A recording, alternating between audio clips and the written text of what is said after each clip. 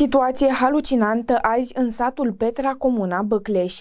Locuitorii de aici au primit buletine gata ștampilate, fiind atent supravegheați de liderii PNL în secții. Românii, nu vă lăsați manipulați și votați corect. Votați pentru o patrie, pentru o viață mai bună.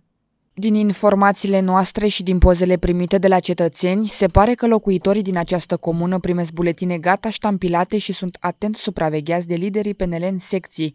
Liberalii sunt disperați și încearcă să întoarcă voturile în favoarea lor. Președintele secției de votare din satul Petra, comuna Băcleș, a fost surprins când încerca să manipuleze mai mulți tineri, ferindu-se parcă să nu fie văzut. Tinerii au fost aduși dintr-o altă localitate în satul Petra, doar în scop electoral.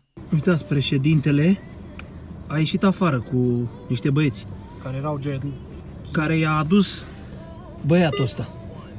Cu mașina i-a adus pe ăștia și președintele a ieșit cu ei să vorbească. Pentru... Sunt cu niște foi pe mână aia. Români, nu vă lăsați manipulați. Dacă doriți schimbarea în bine, votați corect, votați pentru o viață mai bună.